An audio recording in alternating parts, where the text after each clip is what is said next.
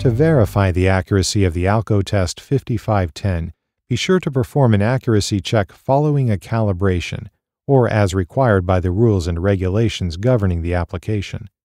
Also, we recommend that a calibration be performed annually.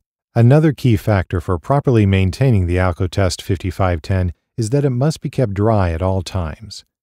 When cleaning the device, use non-alcohol disposable tissues. Do not submerge it in liquid or the device may not work properly. If storing the device for a long period of time, remove the batteries to avoid any damage that may be caused by leaking battery acid. This concludes our instructional video for the Draeger Alcotest 5510.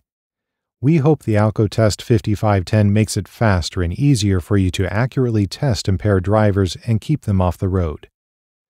For more information or for troubleshooting tips, please refer to the Alcotest 5510 instructions for use, or sometimes referred to as the Alcotest 5510 user manual. You can also contact Draeger at 866 385 5900 or visit us online at www.draeger.com.